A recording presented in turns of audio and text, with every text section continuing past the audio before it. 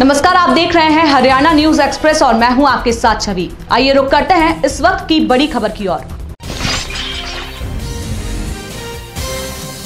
कौसली से भाजपा विधायक लक्ष्मण सिंह यादव ने बिना नाम लिए हरियाणा के पूर्व मंत्री कैप्टन अजय यादव पर जोरदार निशाना साधा और कहा कि उन्होंने केवल अपने खेतों तक पानी पहुँचाने के लिए अंडरग्राउंड लाइन डलवाई, जबकि हमारी सरकार ने 10 गुना पानी बढ़ाने के साथ बिना किसी भेदभाव के हर घर जल, हर घर नल पहुँचाने की व्यवस्था की है। लक्ष्मण यादव रेवाड़ी के भाजपा जिला कार्यालय में 25 जून को गौरवशाली भारत कार्यक्रम के अंतर्गत गुरुग्राम लोकसभा क्षेत्र में होने वाली रैली को लेकर पत्रकारों से बातचीत कर रहे थे। लक्ष्मण यादव ने कहा कि 25 जून को होने वाली रोहतक और गुरुग्राम में होने वाली गौरवशाली भारत रैली को लेकर कार्यकर्ताओं में भारी उत्साह है, क्योंकि पिछले नौ साल के दौरान प्रधानमंत्री नरेंद्र मोदी के नेतृत्व में देश का विदेशों में गौरव बढ़ा है। इसी के चलते पार्टी को और अधिक मज़बूत करने के लिए इस तरह के कार्यक्रम चलाए जा रहे हैं। इस दौरान विधायक ने जनसंघ के संस्थापक श्यामा प्रसाद मुखर्जी के बलिदान दिवस पर उन्हें अपने श्रद्धा सुमन अर्पित किए। रेवाड़ी से हमारे संवाददाता भानु शर्मा की रिपोर्ट।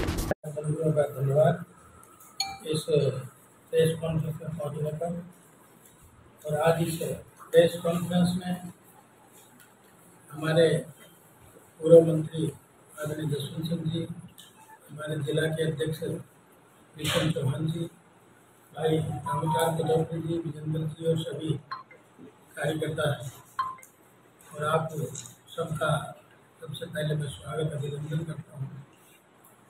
आज हमारा तीस मई से और तीस जून तक पार्टी के निरंतर कार्यक्रम नौ साल का लेखा जोखा लेके और लोगों तक पार्टी जा रही है हर स्तर पे। उन्हीं के निमित्त आज आपको निमंत्रण दिया था कि इस नौ साल में केंद्र सरकार और प्रदेश सरकार ने क्या क्या उपलब्धियाँ की हैं। और मोस्टली विधानसभा में भी क्या क्या काम हुए हैं। इस निमित्त क्योंकि आपके माध्यम से बहुत सारी चीज़ें जनता तक पहुँचती हैं।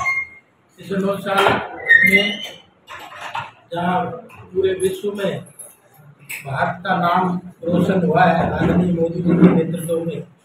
वहीं हरियाणा में भी आदरणीय मनोहर लाल जी के नेतृत्व में व्यवस्था परिवर्तन का काम किया है। और नहीं तो हरियाणा में आप देखते होंगे कभी जो आज जो नई व्यवस्थाओं को जन्म दिया है, वाकई में आम आदमी के घर बैठे पहुँच रही है।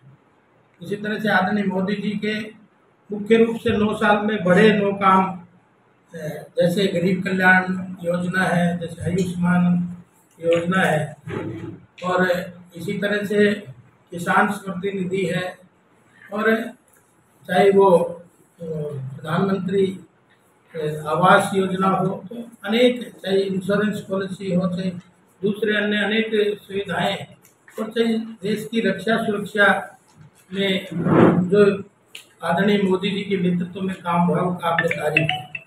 और आज पूरी दुनिया हिंदुस्तान का नेतृत्व को जहाँ स्वीकार कर रही है, वहीं इस विदेशों में जब आदरणीय मोदी जी जाते हैं तो सभी ऑस्ट्रेलिया के मुखिया ने तो प्रधानमंत्री ने कहा मोदी था बोस और अमेरिका में भी पहले कहते थे, हम वीज़ा नहीं देंगे। और आज मोदी जी जब इस बार अमेरिका 21 जून को पहुँचे हैं तो 21 तोपों की सलामी आज अमेरिका दे रहा है तो ये एक बहुत बड़ा परिवर्तन आपको देखने को मिल रहा है। एक जमाना था, चालीस करोड़ में देश का सोना गिरवे रख दिया था, और आज हम पूरे विश्व में पाँचवें आर्थिक हमारी स्थिति पाँचवें नंबर पे आई है। तो आज आर्थिक समृद्धता जहाँ आई है, वहीं देश विदेश में भारत का नाम रोशन करने का काम किया है।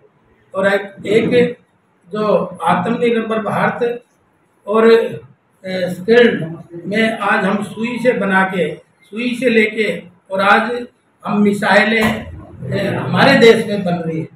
मुझे वो समय याद आता है जब 15 सितंबर 2013 को आदरणीय मोदी जी जब पूर्व सैनिकों की रैली के लिए यहाँ पे आए थे, तब तो प्रधानमंत्री नहीं थे, लेकिन उन्होंने एक बात कही थी आज हमारी रक्षा सुरक्षा के लिए इस देश में एक कील भी नहीं बनती।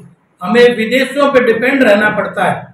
इसलिए आज इस नौ साल में कितना बड़ा परिवर्तन आया है, जहाँ आज हम पनडुब्बियाँ भी बना रहे हैं, प्रक्षेपात्र भी बना रहे हैं, हम वायुयान भी बना रहे हैं, और दूसरा सैनिकों के लिए जो सुविधाएँ पहले से कई गुना ज़्यादा आज दी गई हैं, चाहे वो ब्लूटूथ प्रूफ हैं, चाहे वो सीमा पर खड़े हुए नौजवान को दिल्ली की तरफ़ नहीं देखना पड़ता, बल्कि उसके जेब में आदेश होते हैं कि जैसे ही दुश्मन का हमला हो तो वैसे ही उसको ठोकने का अधिकार उन सैनिकों को दिया है।